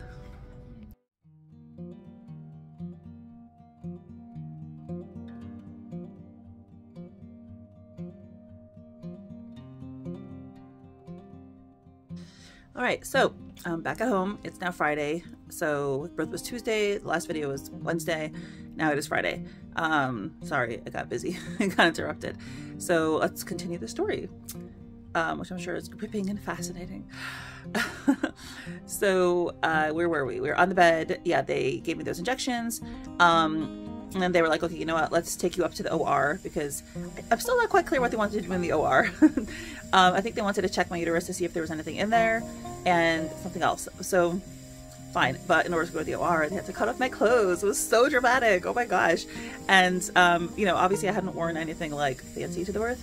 I'd worn that red dress, but it was cut. and my sports bra was cut, my one and only.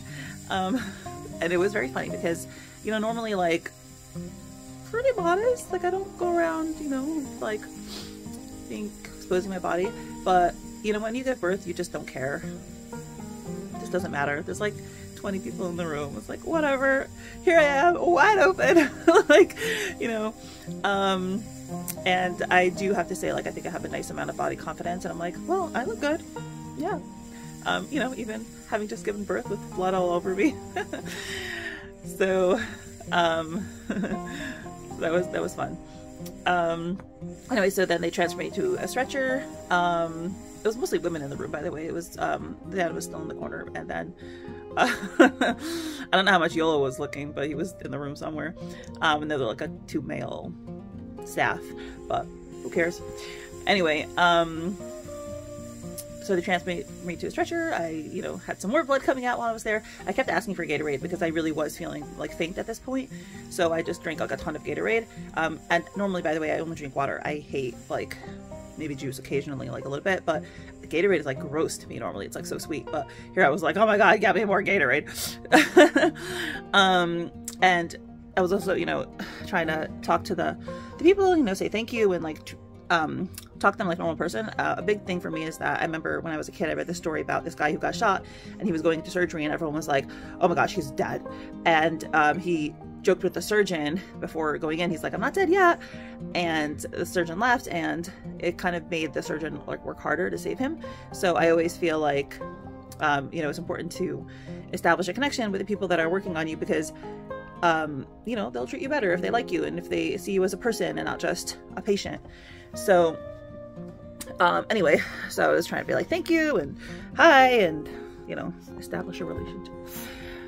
So anyway, we go upstairs to the OR. Um, in the OR, um, they, I think they stitched me up. I don't, did not feel this at all. It was so weird.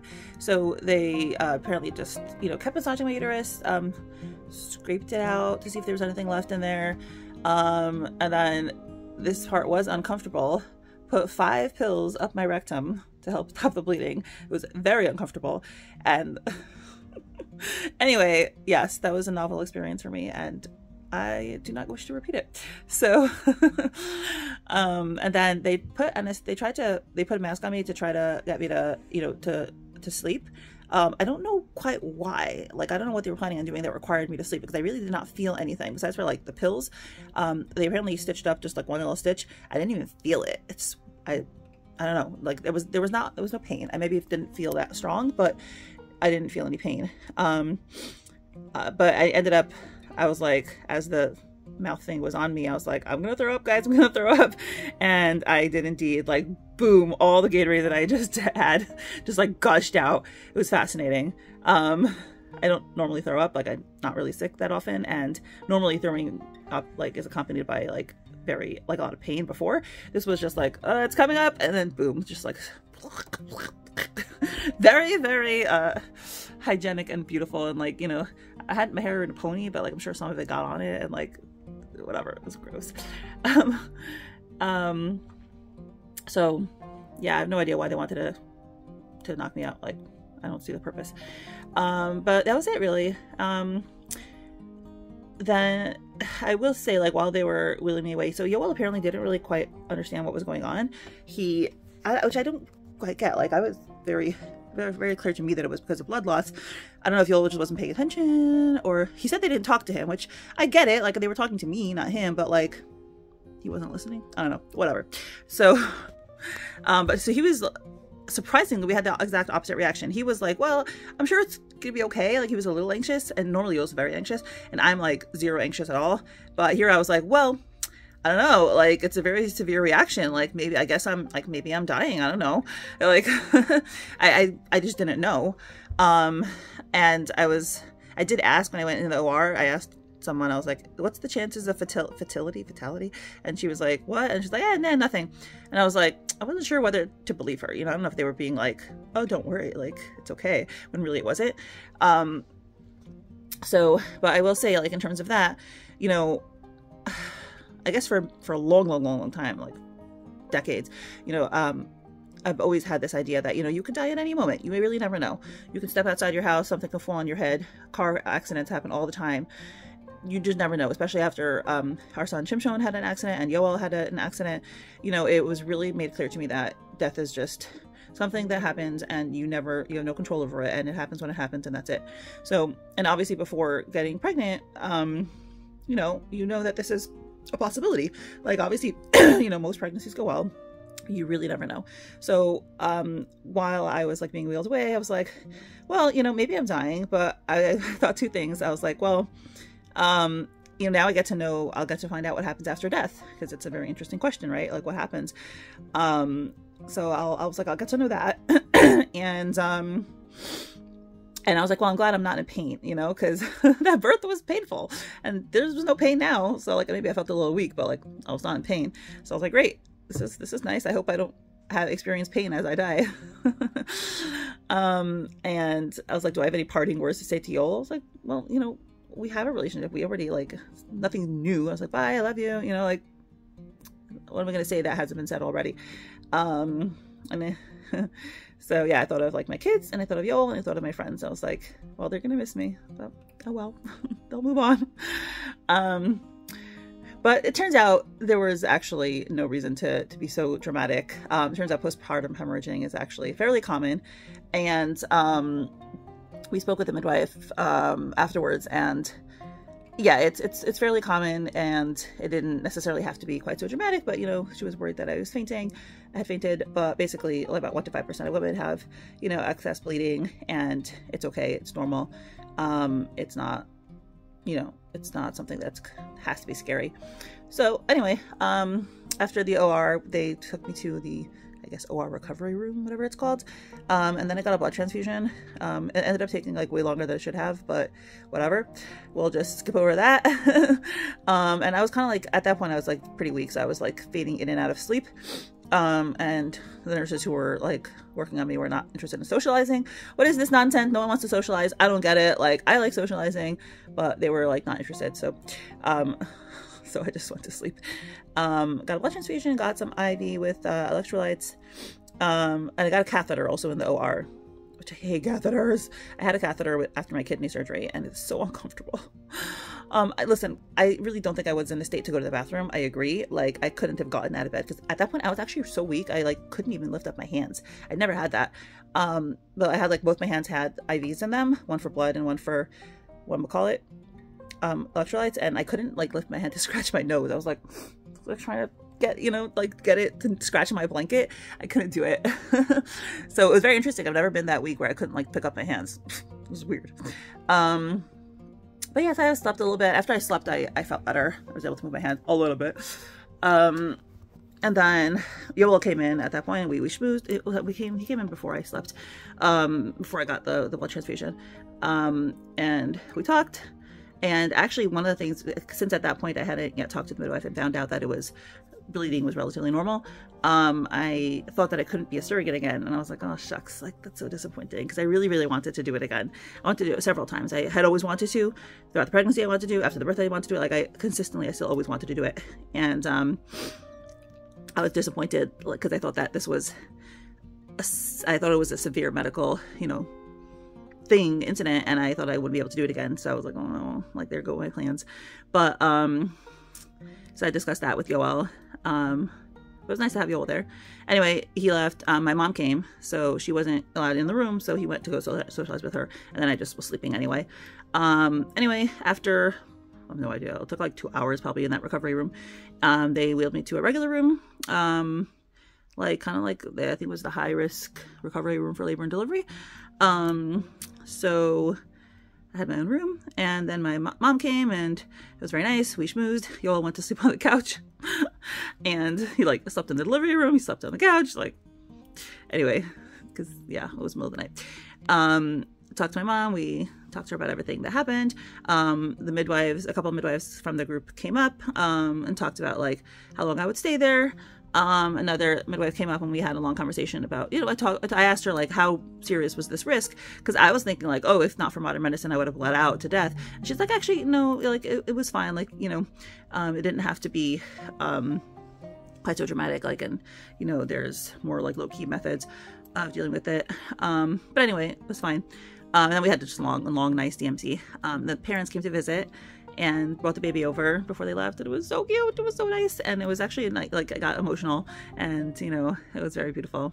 And my, my mom got to meet the parents also and see the baby and it was very nice. And then we had a long conversation with the midwife about like chesed or kindness in the family and how, you know, my, um, well, I praised my parents and for their chesed and their generosity and how I learned it from them. And um, talked about, my mom talked about my great grandmother, who I'm named after, Mindel from Romania, and how after the war she used to host like all the people who really had been, you know, mentally damaged by the Holocaust. And, you know, they would have like 20 people at their house for meals. And um, she talked about like the Kaliver Rebbe who would uh, adopt, adopted like I think 50 children after the war, 50 orphans, um, and a lot of other similar such stories. Um, it was a very nice conversation. Like it was really, you know, talk about being parenting and teenagers and you know how like my mom and I used to fight a lot. Now we're we're pretty close and all those things. Um, so it was just a really nice conversation. Um, anyway, and then um, Yoel and my mom, Yoel woke up. They got me some food to eat. I ate. They left. I went to sleep. um, slept for a bit, and then woke up. Caught up with friends. Um, I was feeling a little better at that point. Um, still not like super energy, but you know, whatever. Um, yeah, and then this was, I guess, the rest of Tuesday. You know, a lot of just being on the phone for a bit. My nurse was very nice. Um, I kind of begged to get the catheter out, so I think it went out Tuesday night. Yes, somewhere Tuesday night. And um, then I went to sleep, slept like all night quite nicely. Um, you know, they interrupted a couple times to get vitals, but it wasn't a big deal. Um, the next morning, I felt way better. Um, I actually got dressed right after I did that video with you guys. They took away one of the, the IVs. Um, and then, yeah, I basically got dismissed, dismissed, released, whatever, at like, I don't know, afternoon, you know, 12 o'clock, something like that. My parents picked me up and we, we went down to the birth center to get my sneakers and like some stuff I'd left there. And, um, and we saw the parents again with the baby. They had been planning on coming to visit and it was very nice. And they gave me a present and it was super nice. And it was just so nice and everything was nice. So all the wonderful things, all the, you know, fantastic, like lovely things. It was so nice to see the baby. It was like such a cute baby. Um, anyway, went home. Pretty sure I chilled the rest of Wednesday. So I maybe read some, caught up, you know, like more correspondence. Because obviously, when you give birth, you have to like tell all these people and then you have to answer their messages. It's always like you're a full time correspondence secretary. Uh, and Baruch Hashem, thankfully, there are a lot of people who care, right? A lot of friends. And so friends came to visit. It was so nice. Had two friends come to visit and bring presents for my friends. It was so sweet. Um, I'm very like overwhelmed and like gracious and grateful for all the the care and concern. It's really, really nice. Um, people from my choir are super nice, and like our local friends are super nice, and family. Like my aunt called from Israel while we were in the hospital. It was so nice. It's just so nice. I love how everyone's being super nice. It's very nice. Wow, I use the word nice excessively. um, but I was I was kind of tired, so like in between friends, I would just go back up and sleep a little bit. Um, but yeah, and then I went to sleep relatively early, and then yesterday, Thursday, um, I felt great. I felt fantastic. I like took my kids to school, took my, you know, took myself to have like a weekly therapy for parenting, took myself there. Um, I did realize that like I couldn't walk as fast as I normally do. Um, but I felt really good. Um, then I did errands all day, computer errands all day. Just sat at the computer and just like, oh my gosh, the errand list is freaking ever long, but whatever. Everyone deals with that, I guess. Um, and then but towards the end of the day i was like huh i'm getting tired you know earlier than i normally get tired. And um, i had done laundry and stuff and i was like maybe i should like slow down on the physical stuff. And obviously everyone's telling me this. They're like rest rest rest. And i'm like what is this rest concept? I feel great. But um, i'm just starting to realize okay like maybe i should slow down on the physical things. Um, physically how i felt i felt great. Um, barely bleeding which is great. Um, you know still sore somewhat but really not like crazy. Um, I was trying to prevent my milk from coming in, which this is like a surrogacy thing. Oh my gosh, this video is so long. Anyway, I was trying to prevent my milk from coming in because I don't want to breast milk. I don't want breast milk, and I don't want to pump milk because I hate it. And I know, like like I said, my altruism extends up to this. You know, using my body for pregnancy, yes. Breast milk pumping, no. Um, so I had wanted the to get prescribed like cabergoline or something. Anyway, it was after like a billion requests I was not prescribed cabergoline, let's just say. Um, everyone was just like, you know, use cold compresses and don't let it get warm and use cabbage leaves and, um, maybe get, you know, Sudafed or Benadryl. So I happened to have had Sudafed at home. So I took Sudafed, ate some mint that my mom bought me, vitamin B. I had vitamin, I read that vitamin B helps. I got, I have B12, so I do B12. I don't know if that quite qualifies, but whatever. Um, and wearing like a sports bra. My mom was very nice. She got me a tight, you know, replaced my cut up sports bra. and, um, yeah, but I think my milk did come in. I just barely noticed it. So hopefully it'll go away soon and it doesn't seem to be that obtrusive. Um, so thankfully for that, hopefully it'll stay that way. Um, and yeah, so now it's Friday. Um, yeah, I mean, I, I feel fine. I don't feel I actually feel like I have less energy than yesterday, which is odd. But I think that there's also the element of like the high that you get after giving birth because it's such an amazingly emotional experience and like woohoo, you feel so great. So I think that has finally like gone down. Um, and you know, I feel like back to normal, right? It's interesting because like my theory in life in general is that, and it's not just a theory. This is like you know, psychology studies have shown that people's um, baseline emotions tend to they, they tend to have a baseline of emotional, you know, homeostasis, right? They're they're either this level of happy, or this level of sad, or this level of whatever. People usually are consistent, and like life events, you know, big life events will change it, but only for a little bit, right? So like having a baby, right, will change it for a little bit, but in general, you know, it's back to your homeostasis of like, are you usually this, you know, grouchy or grumpy? So now I feel like I'm kind of back to normal. Um, you know, life goes on, right? I still have all those errands. I have, um, I took off work until next Monday. Um, I feel like I physically could go back to work, but like mentally, I do kind of want a break. Um, and I, I was trying to get a lot of chores done, but I'll be back on Monday. You know, life goes on. My kids have school. My daughter has a Shabbaton. Um, you know, there's housework to do, which I'm kind of, I just said, like, don't do it. You know, let Yoel do it today. um, my, my to-do list, I still have to fill out forms for school. I still have to file taxes. I still have to pay the bills. You know, all this stuff just, just goes on back to normal, right? Um, so so that's where we are. Um, I guess, you know, closing thoughts. Um, it was a beautiful experience. I'm so grateful that I did it. I feel very jubilant. You know, I feel like this like score, like I did it. You know, there's a couple of things in my life where they're kind of like stretch goals as they call them. There are things that they're a little out of the ordinary and you don't know if you'll be able to do them or not. And just the like because they're so rare and unusual you're like i'm not gonna be able to do it and am i gonna be able to do it and like is it going to be possible? So for me it's things like because i grew up Hasidish, going to college and getting a master's degree um, or like living in a community that is suitable for me or having a husband that is you know, um, not Hasidish and didn't grow up like five blocks from me. So there's a bunch of things in my life that, even though it's been many, many years since I have them, I'm like, every so often I just like think about it. I'm like, yes, I did it. I did it. So, you know, for example, like I live in a great community that I love with people who I can talk to about the things that I want to talk to with no censure or judgment.